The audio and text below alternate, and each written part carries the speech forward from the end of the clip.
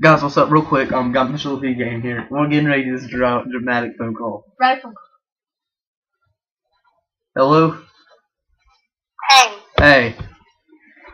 okay, so I don't know who told her, but someone told her that I was telling everyone that she was playing everyone. I wonder who said that. I feel like it's Katie because we, Amber and I were talking about it last night. And I told Logan that I said I didn't say that, but I only told you that she was like messing with you and stuff. I didn't say that she was playing anybody. I guess maybe somebody else saw it.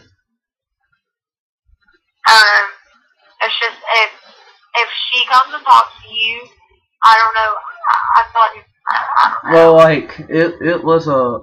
I talked to her a lot last night over it. But I didn't tell you that she was playing me. I just told you that. Um, I just told you that she was like messing with you, taking pictures, and she's not gonna do anything.